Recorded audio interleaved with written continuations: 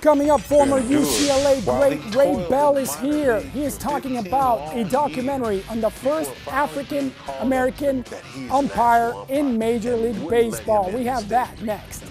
These knowledgeable, hardworking umpires in all of professional baseball. Thrill Play of the Game is sponsored by Six Flags Magic Mountain. Go big at Six Flags, the thrill capital of the world. Fly through miles of thrilling coaster track on legends like Twisted Colossus, Full Throttle, Tatsu X2, and the new Revolution Galactic Attack. Go Six Flags. That that pitch stays. And that's deep to left, and Hemphill has tied the game on the next pitch. Yeah, usually you score when you hit a home run, but our thrill play of the game comes from a softball game earlier this week. Alabama freshman Bailey Hemphill hit a homer. She leaps into a crowd of teammates. She's partying, hitting the dab and such, dancing. You know, only one problem. She did not touch home plate. So she tries to go back and touch home. Let's see if she'll make it or not. As you see here, she misses the plate. Seriously, it's a giant white figure. You have to touch it. She doesn't. They tag her. She will eventually be called out. Painful, painful.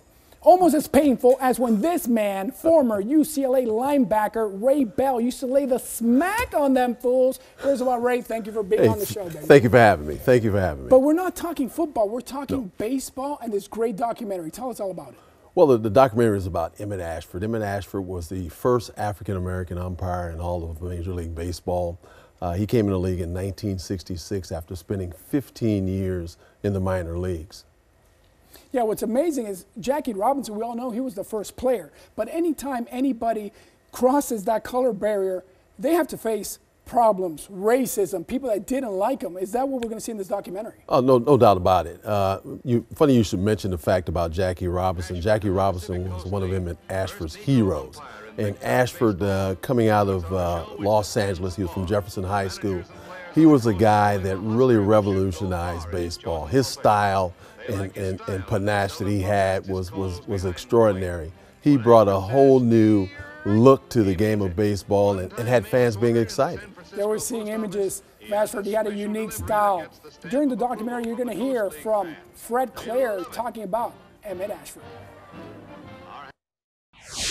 in Los Angeles, Emmett's home ground, there were five, I remember the days, there were five daily newspapers. So when you picked up the Los Angeles Times, or the Los Angeles Herald Examiner, the Los Angeles Mirror, or the Los Angeles Herald Express, you saw pictures of games from the Pacific Coast League. And their games were on television, so there was a lot of media coverage uh, that was there. So Emmett was a celebrity. I love the images. I love the documentary. I especially like baseball is such a pastime game. So these images really tell such an important story in the game. Well, when you, you think about this game itself, we do more than just talk about Emmett Ashford. It's also about the history of the game. We talk about PCL, which, which uh, Fred Claire was mentioning there, and, and Fred is certainly a, a historian on the PCL, but it was baseball prior to the Dodgers and Giants coming here. And we delve into that as well, along with Emmett's history in the PCL too. He spent 15 long years in the minor leagues, 12 of which were with the PCL. What I love about it is that that style he put in, he came in with his swag, While which I'm sure ruffled even more league. feathers. It's like, wait, what, what's this African American umpire doing? Plus, he's doing it with a style that that can't happen. Oh, well, well, when you think about a guy that, that really has such a style, he not only had a style, he had a style about how he dressed. He had impeccable dress, he had his shoes shine, suit pressed out, and then his flair for the game was so different and so engaging to the fans that people came in droves just to see him. Yeah, this was a long time ago, but even this weekend during a Red Sox game, racism still throughout baseball still exists in the fans. Mm-hmm. Back then, it was so much worse. Here's Doug Harvey on the racism that Emmett had to face. Oh, it sent a few ripples, a shot through baseball because what's he doing here? Uh, But that was his style. He was being Emmett Ashford. He wasn't trying to pretend to be some, somebody else. That's how he called the games before he came to the big leagues. And he was unlike the standard umpire. And I'm sure that he had difficulty with it. Some of the other umpires thought he was showboating.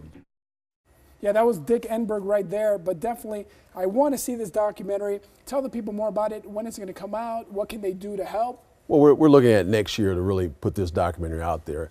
Uh, we have a um, uh, Indiegogo crowdfunding campaign that we're a part of right now. We only have 24 more days to, raise funding for this film so we can air it next year for, on PBS. Uh, certainly, we need fans out there to, to, to really get involved with Indiegogo and help us raise the funding for this. They can go to, I don't know if you're going to put, oh, here's, I think that's Emmett uh, in the World Series in 1970. He, he was lucky enough to, uh, not lucky enough, he was uh, an able-bodied uh, umpire that had the ability to that be selected for the, the World Series and, and certainly had a lot of fun and brought his style to that game as well. Let's hear Doug Harvey right now and the racism that Emmett faced. His uh performance on the field. His style was a bit one of the situations I observed when I worked with Emmett was the fact that uh, when we traveled, we would stop on the road and everybody would get out and order a hamburger or something and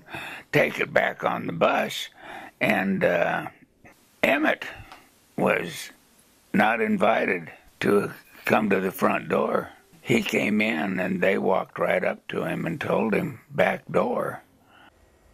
Wow, so tough for players also for an umpire. I mean, he has to call players out. Must have been difficult back then. Tell us more, again, one more time about this documentary, how you got involved, and how people can be a part of it as well. Well, I've been involved in it for like three years. This has been a, a project with my filmmaker, Doug, Har- uh, Doug, Doug Harris, uh, an award winning filmmaker. He and I got on board with this project three years ago. We looked at this project. You're talking about a, uh, um, a um, uh, icon, a sports icon from right here in Los Angeles, Jefferson High School. He's one of Los Angeles's uh, great, great sports uh, icons. And we said to ourselves, this story has to be told. It has to be told because he broke the color barrier in an authoritative type position. Jackie Robinson was a participant on the field, Emmett behind the lines. And so we felt as though it had to be told, and certainly we need some help in getting it done. And again, I mentioned uh, about the Indiegogo crowdfunding campaign. Mention it one more time. We're going to put the info. Ah, there it is right there. Tell the people. Uh, oh, we, we, we need help. You can go to Indiegogo.com, log on to Indiegogo.com, and then uh, hit your search bar for Emmett, uh, for Called Up, the Emmett Ashford story, and it'll take you right to our campaign, and then you can make a donation there. Indiegogo, Called Up, Emmett Ashford film. Look it up, documentary. This is it for now. Don't change the channel. We have a lot more extra innings coming up. Thank you, Ray. Thank you. Thank you. Thank you.